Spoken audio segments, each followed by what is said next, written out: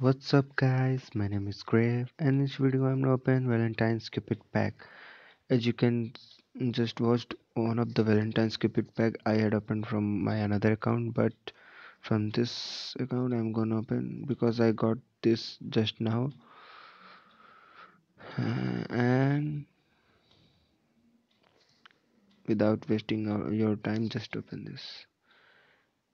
It contains only one Cupid one diabolic means and three monstrous 30 epic and 130 common. Just open this.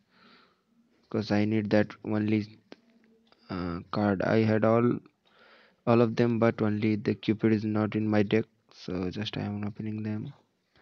Medusa happy celia cooper frankie zax rudolph and the last one is na na na na Yoo-hoo, Cupid! Just got that.